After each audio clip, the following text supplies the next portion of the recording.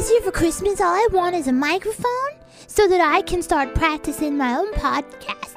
It's going to be called Chew the Dough. But I can only do that if Aaron and Denee stop their podcast. So this is what you call a conundrum. Because I want to do a podcast like Chew the Dough because it's so fun, but I don't want them to stop. I think they also call this a dilemma. Right. Well, of the two that, that won the vote this year, I preferred Downton Abbey. I thought Downton Abbey was spectacular. Now I've never seen that, but my wife is obsessed and she loves it. So It's so good. It You have really a wife? I do. Yes. Isn't it a surprise? I learn something new about you all the time. It's really, really good. It, all right. Let my wife hear you say that. She'll make me watch it. You don't have much to catch up on if you want to, because it's only been a couple seasons and there's only like seven episodes per season. So I'm eternally fascinated by that. How different the British concept of a, a series uh, or a season it is from ours. It's crazy. yeah, and they do. They call them serieses. Yeah. Wouldn't that be called Sea Rye? Siri. Yes. No, that's It's a series Siri. of Sea Rye. Siri. What are Siri? Well, you ready to shoe a dough? Sure. You, you know I have no context for what that, what that means, right? Would you like some context? well, my, in my head, I imagine one of you was trying to say "do the show" and said it wrong, and it became an inside joke that became the title of your podcast. But I don't know if that's close. That's really close. It, See, the- there's only one thing that's not quite right that's about right. that. That's right. There's one Which is the fact that he did it on purpose. that it wasn't an accident. Yes. oh, yeah, it's a spoonerism. You know, just switch, you know, the first letters or whatever. And so, yeah, I took. It was like what your second or third morning you yeah, came in, right at the very beginning of my fledgling radio career. and I said, "Hey, you ready to shoe the doe?" And she was like, "What are you talking about?" My you on the unexpected. No, no, No, no, no, no, no. Very close, my friend. Very close. well, you know, I'm I'm I'm pretty much a genius. you pretty much are. It's why we love having you on to talk about movies. There's no better use of genius than to break down pop culture, especially when, especially when you're talking about Spider-Man 4. Oops, I mean the Amazing Spider-Man. Yes. So this is, of course, continues to follow Peter Parker. I, I, I never said Spider-Man. I was ready to shoot the dough. Oh, I'm sorry. Denee, are you also ready to shoot the dough? Yes, I am. Okay, good. uh, Peter Parker is back, and Spider Man's back, and all the characters you know and love. In fact, this is a reboot, quote unquote, which means throw those old ones out the window. We want permission to reset the story and and do what we're going to do. And it's really kind of the first time that it's been this quick. Am I wrong about that? Has there ever been a reboot within like a decade?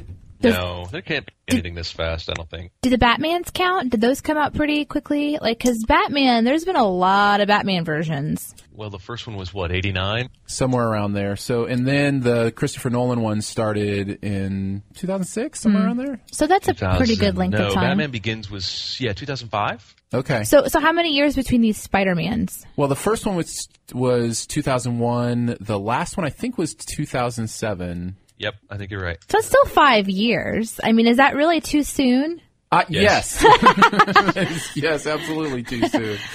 Uh, and we'll Yes, get it's too soon. we'll get more into that as well. But this is another origin story. I mean, it pretty it is the origin story of Spider-Man, which we saw with Tobey Maguire uh, in. Uh, the early 2000s, and now we're seeing it with Andrew Garfield. Emma Stone is in it as well, uh, directed by Marc Webb, uh, whose only credit that I'm aware of is 500 Days of Summer, which is Which a is excellent. which is a great movie. Never saw it. Um, I think they. all- I think it's also um, has, must his last name. You know, they figured Marc Webb had to do a Spider-Man movie. That's how Hollywood has That's that's how it works. started choosing directors. Yes, it's it's all about who you know and what your last name is. um. So yeah. So what do we think, Jeremy? Why? Uh, why? Don't, actually, we're going to let Denee start us off this time. Denee, what do you think about the Amazing Spider-Man? The Amazing Spider-Man put me into a unique position. Yeah. Quite, quite literally in my seat because I found that by the end of the movie, I had to change positions so that my body wouldn't go numb. quite a bit. Like I think I, Are you saying it's too long? I think I found like eight different seating seated positions during Uh-huh. this movie. So that's that was my quite literal. And then I was also I found myself uh, moving into an area in my brain that has never happened in a film before. Ooh, interesting. I became an editor. Okay. So I found that by the second half of the movie, I was experiencing each new scene and wondering if it could have just been dropped. Like, did we really need to go back to this or whatever? So it was really strange for me. It was. I didn't expect that I was going to be doing that. So what I'm gathering from what you're saying is you felt it it was a little long, that it dragged, and so instead of your brain enjoying the movie, your brain's thinking about, did I really need to see this? I'm kind of ready for this to be to move on, that kind of thing. But at the same time, I really was enjoying some of the character development because I actually kind of liked the very the first half of the movie in that way because I was like, wow, you know, this is getting you know really emotional, tying into the families and.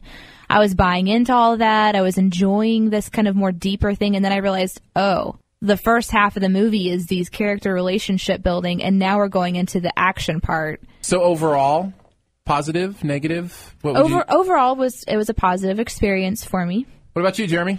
I thought it was great. I was really surprised. I, I've been nothing but sarcastic about this movie for six months uh, about how unnecessary it is. Even even knowing that, you know, I guess apparently they, they had to make another Spider-Man movie or lose the rights or something like that. Right. And so even though there's a decent financial business decision for it, it's just unnecessary is the word I have always used to describe this movie. It's completely unnecessary. And I loved it. I don't know if that let my guard down so that I was expecting nothing. I thought Andrew Garfield was outstanding and really engaging. It didn't it didn't feel long to me. Uh, almost ended up ended up feeling like it could have been longer. I, I just thought it was a really solid. All the characters were good. The action was good. I really liked it. Well, I get to be the spoiler then, um, and I don't mean that in a movie sense. I, ah, what you say is true. A, Andrew Garfield is amazing in this movie. I loved him in this movie. I thought he was great. I love his presence. I love how he delivers lines. Uh, I felt like he really was Peter Parker in, in Spider Man. Uh, I love kind of that quirky way he played Spider-Man. Like it was like you knew it was Andrew Andrew Garfield under the suit by the way he was you know moving and Right. and uh, and I really love that. Emma Stone has always been one of my favorites. I think she's great in this as well. The action is fun and visually engaging and and great. But it is not a great movie. And here's the reason I say that. You talk about it being unnecessary, and what I had heard about this reboot was that it was going to be an opportunity to adjust the feel of Spider-Man so that it was more realistic. Not necessarily Nolan's Batman realistic, but more like, you know, we've seen with Iron Man or the Avengers or, you know, just kind of existed more in a real world. And I felt like this movie was exactly the same as the first three. Like I felt mm-hmm. like the tone was the same. I felt like it had that jokey jokey kind of thing going on, that there were the same kind of really weird moments that are just begging to be made fun of. Like, um, do you know what RiffTrax are? Yeah. that's where these guys who used to do mystery science theater, uh, you know, make fun of modern movies. And I felt like this was a movie just begging to be riff traxed. Uh, the moment where he's in the lizard's underground lair, and for whatever reason, Curt Connors or the Lizard decided to leave this great PowerPoint presentation of how he was going to take over the city. And it's like all he has to do is hit play, and it's like it's got graphics and it's got Uh-huh. little lizards that take Yeah. over the city. It's like, Yep. when did he decide to do this, and why? Why is he making this PowerPoint? About how I'm going to do this, thing? you know what I mean? Just stuff like that. The duplicating lizards. Yeah, the duplicating lizards that kind of crawled across the screen. And then the other point was at the end, uh, towards the end, where the crane operator's like, okay, guys, let's line up the cranes. And there just happened to be All these cranes, lined up across the city and the ability to communicate with these people in that way. And I understand that's kind of the part of your brain you're supposed to shut off when you watch these movies. But that was always to me kind of the flack with the, the first ones. And I was hoping that it would be a little different with this one. I can I can completely connect with you on on that. Several times through the movie, I actually was thinking, hmm, this is like what Jeremy was talking about.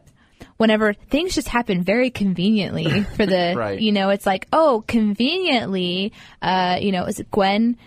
Yeah, Gwen Stacy. she works for this company and so she can get in and she can do these things and oh conveniently you know so it's like all these things started happening and what was frustrating for me is that by the time all these convenient plot things start to happen it's towards the end of the movie when they're trying to move it along and kind of get towards the end I guess there's a part of it, and maybe you can speak a little bit to this, Jeremy. Do you feel like the summer big budget action movie kind of game has changed since the Marvel movies have started, you know, with the with Iron Man and most recently the Avengers. Like it used to be this thing where you could kind of just throw big action scenes on the screen and people would flock to it and love it. But now the audience is, you know, more wants something a little more defined. I mean, it's definitely changed, and I think it's always changing. I think it started changing with with Batman Begins. I think Nolan was the one who kind of first made everyone think, okay, so we, we can approach these stories in a, in a more grounded way, right? Uh, but still have some fantastic elements in them. It's it's interesting though because even though the Marvel movies have that, like you said, somewhat grounded more in reality than the superhero films of old, I still think they're completely different films than the kind of movies that Nolan is making. Like Nolan's trying to make a drama.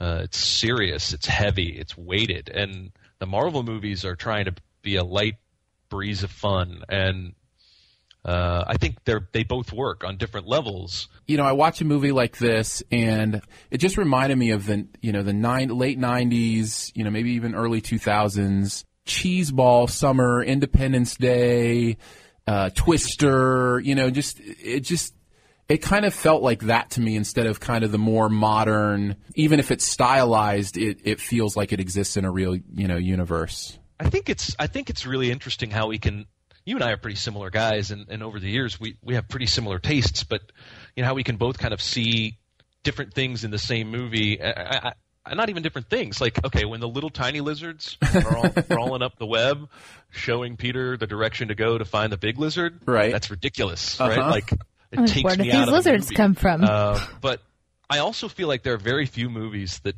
that don't have those moments, and I think what happened in this instance was Andrew Garfield, and then especially the chemistry he had with Emma Stone, grabbed me right away. And and I think the reason I walk away really high on the movie is that what Webb did and what he was sort of expected to do was bring that new understanding of relationships that he displayed in 500 Days of Summer to a superhero film.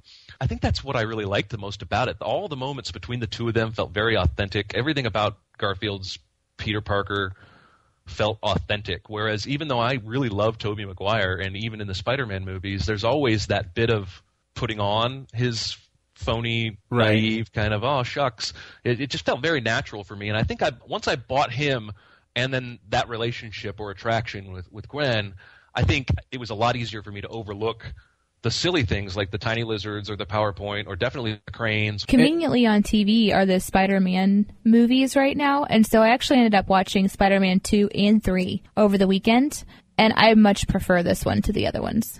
And I was I was hook line and sinker for this guy right from the very start. I love his gigantic eyes and he can emote really well through them and you can kind of connect to his hurt and his pain and he did a great job in connecting relationally to all the people around him. It's just that as those relationships continue to build and build and build and drive and drive and drive, the finale of the film isn't a relationship finale. It's an action sequence that left me like totally bored. which is so funny because the action is one of my favorite things about this movie, and the I love the way I love the way Spider-Man moves when he's web slinging. Well, there's a difference between action and an action plot. and the plot, Yeah. right?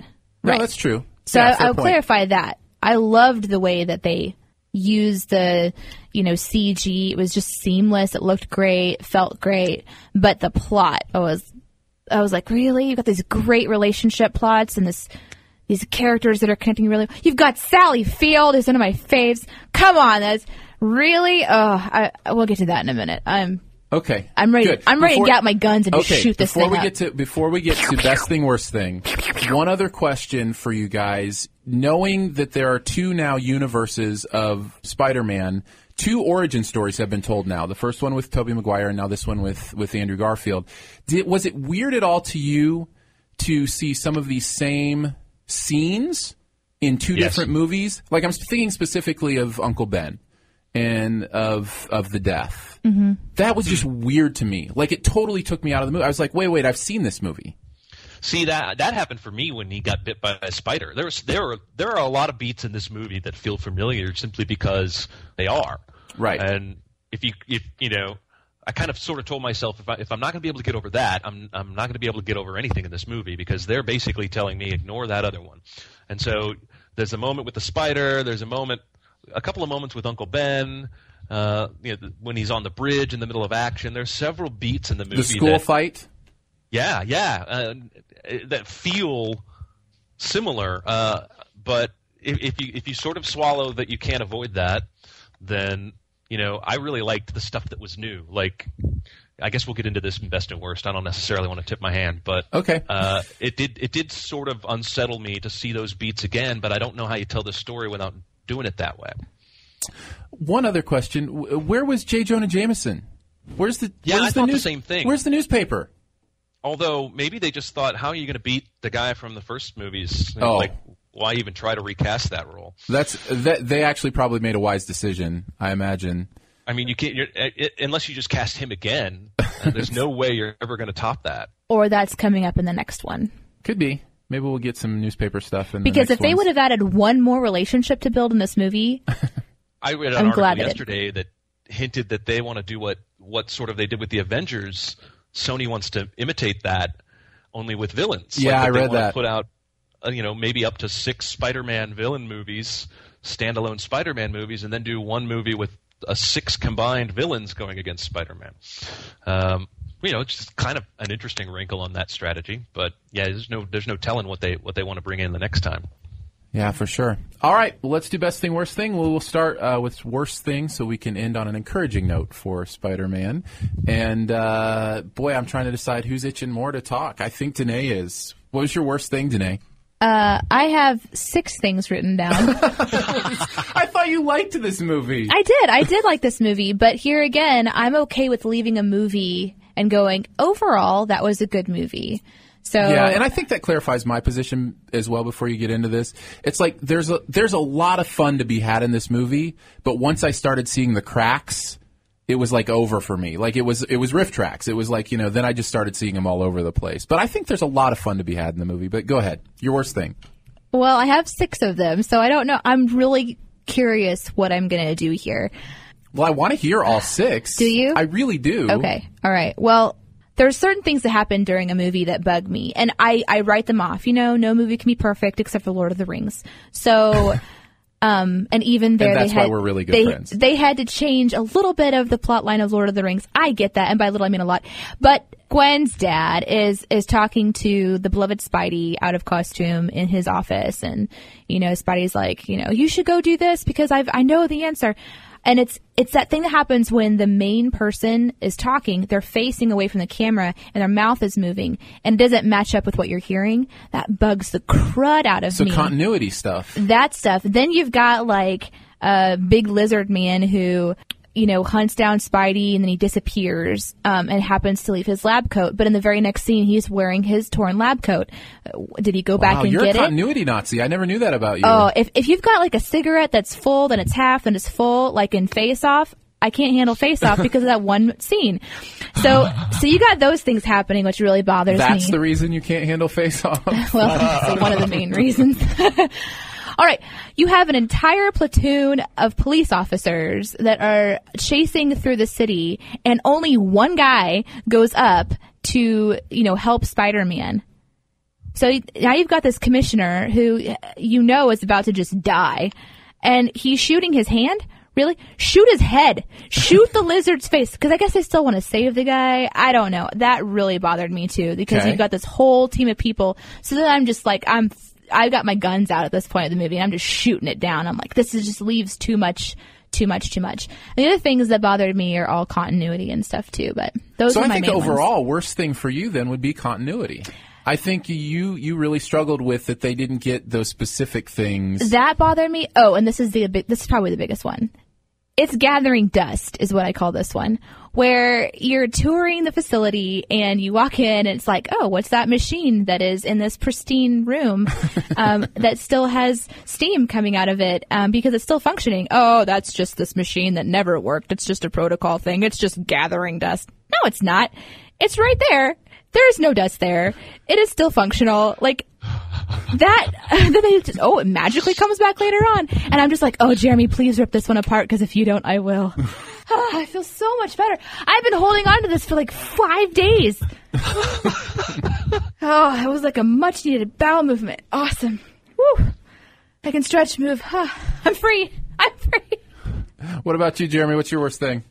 Oh, I walked out enjoying it. I don't have any of that kind of list. I don't have a list of six continuity glitches. I uh, I hated the tiny lizards following around the big lizard. I know I've already mentioned that. Yeah. But why does why does it, why does powers make him the Pied Piper? I don't understand why there's this unnatural call for all lizards in the vicinity to start flocking to him. Like the pheromone or something. That was silly. It seemed too convenient, especially when Spider-Man spent all that time setting up the thing so he could feel the vibrations, and then that goes nowhere, and then just so he can follow the little lizards. I thought I thought that was a little ridiculous. Um, Yeah, and, and you mentioned it. He also had the camera set up so he could take a picture, and that like had no purpose in the plot. Like, Yep. you know, and Well, and- except that the lizard get to find out his name by looking at the camera, Right. but oh, that's but right, that's right. Yeah, but that's but that's not a real life purpose. That's a plot purpose. Exactly, exactly. By the time any of that continuity or, or senseless plot devices cropped up, I think I was having so much fun with Andrew Garfield that it, it didn't really stand out. But Uh, my worst thing is probably overall just the um, the cheese factor and just the convenient things. But I, I would also like to mention, since I haven't mentioned it, I'll mention it as my worst thing, even though technically probably not the worst thing. I really wasn't sold on the lizard's CG, like on hmm. that creature. Yeah. That hmm. creature felt a little off to me, and I don't know if it was too shiny, if it was there was just something uh, about this the movement and scope of it that just felt more CG than anything else in the movie, and so it, that took me out of it a couple times, and I did want to mention that. Uh, good thing, best thing, Jeremy. Why don't you kick us off? What's your favorite thing? well, you know, now I have a list of six things on the best things. You can- Uh, I don't want to we'll steal all anybody's even thunder. I'll just name a few. I thought I think nobody should ever play Uncle Ben but Martin Sheen again. I just love Martin Right? Sheen. Okay, you already stole mine, but that's okay. That was a good one. yeah, he was. Dang, he I was. thought he was Oh. fantastic. Oh, he He's was so great. good. He was so good as Uncle Ben. I, I've already mentioned how good Emma Stone and Andrew Garfield are. That's the main Mm-hmm. reason I loved the movie. But since I've already mentioned that, I do want to talk about the alarm clock scene. okay. Oh my goodness.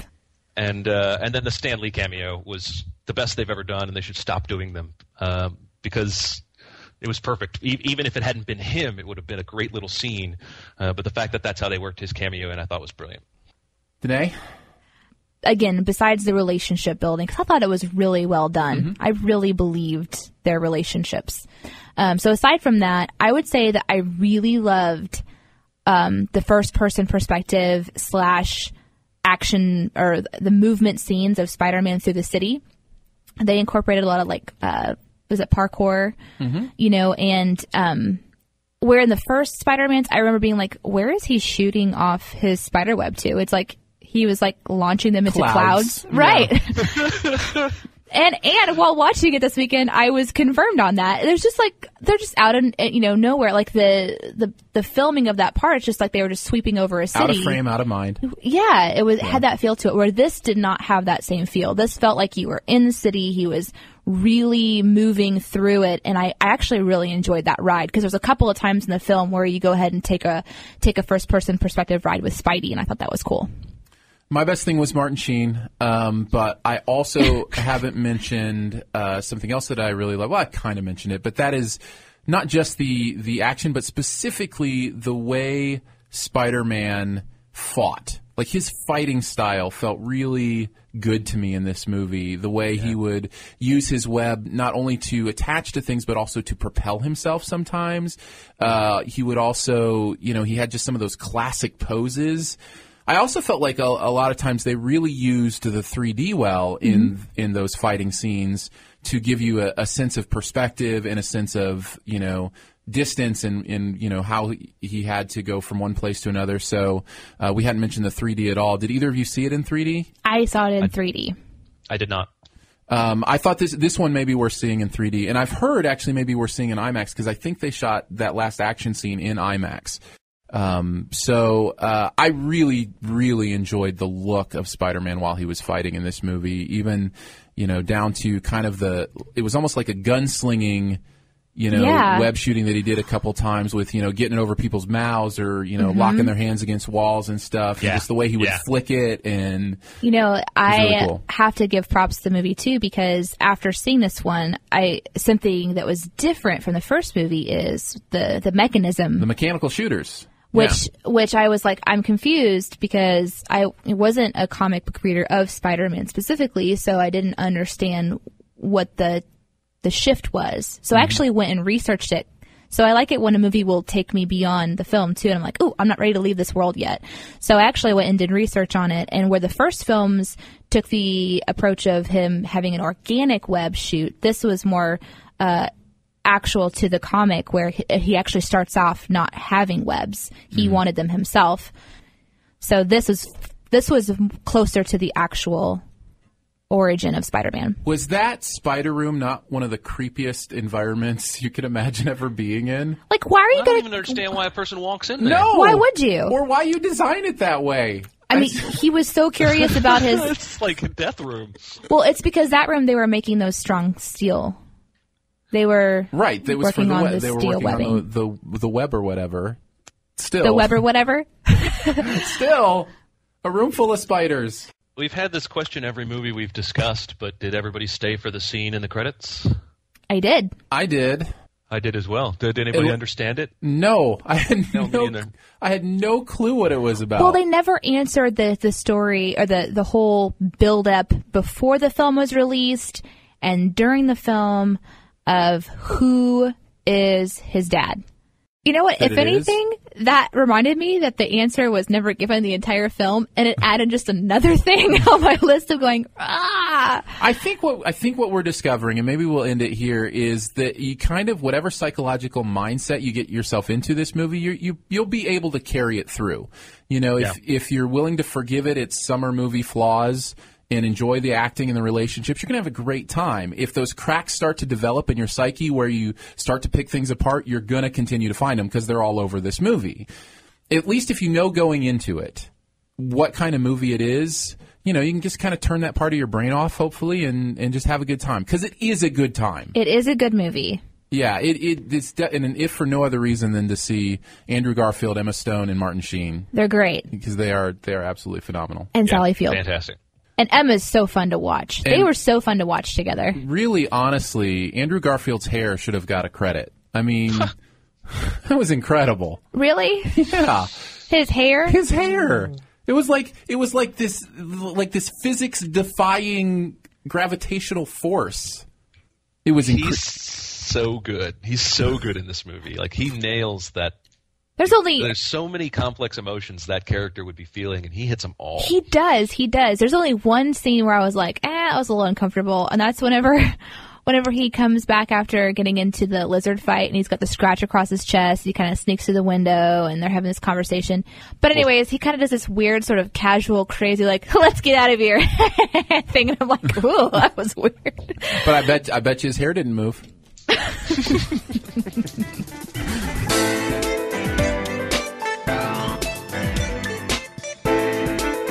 How about some thank yous, Denee? How about them? Thank you to everyone who made this possible. My mom, my dad. I'm playing your thank you music. You know, like how, Oh, You is know, that my get- thank you music? yeah, where you're you're already getting cut off. Oh, but I haven't even started. That's how they feel too. That's exactly right. Thank you very much for listening to this episode of Shoe the Doe. Thanks to Jeremy Scott for being our movie guy, helping us out with that. Thanks to 88.3 The Win for letting us use the studio, and Chris Tilley from Hazo Records for the music that you hear at the beginning and the end. We appreciate that as well. also, Campbell 16. And thank you to Campbell 16, yeah, for letting us screen movies there, and uh, that makes these SiftPops possible. Uh, if you don't mind and you want to check out more about us, you can go to our website, shoethedoe.com. You can also email us at shoethedoe at gmail.com if you have any comments or questions or things that you want to say, or maybe you thought about Andrew Garfield's hair. I'm just saying, you know, it's pretty spectacular. Are you going to make a Facebook group about his hair? I, I bet it exists. I bet I don't have to. I bet I could just go like Let's it find out. right now. There's no there's no Facebook group. I mean, you could be the, the starter of a major thing. I'll have to do it. But first, one more encouragement. If you don't mind, and you could go to iTunes and subscribe there, comment there, and rate there. Those three things at iTunes, if you could check those off the checklist, that would help us out immensely. I doubly challenge and I add on that you should probably try to share it with somebody. Because if you like it, somebody that you know might like it. So share, shoe the doe. and we're having a lot of fun. We hope you are too. Thank you for listening. Now you can play the thank you music. Is that the music they play No. at the Oscars when somebody No. needs to wrap up? I just don't remember it being that joyful. No, it should be. It's more like. Wow, Can you imagine? when they hit the time to time to finish up mark instead of coming in slowly with strings or something that it's like a techno beat.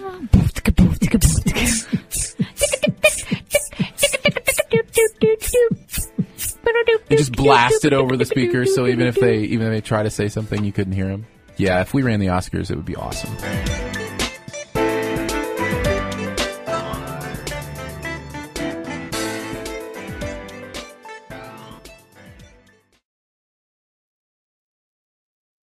I've actually st- started thinking about taking a notepad in- into theaters because I will come out and I- I'll hit my laptop pretty quickly and jot some stuff down for my review.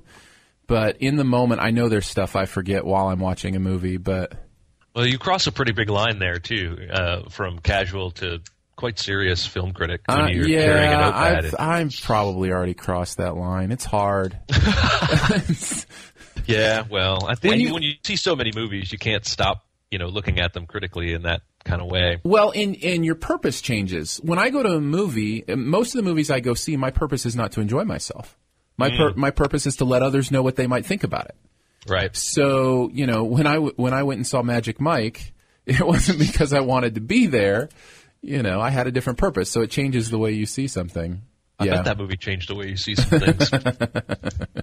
I just haven't been the same since then.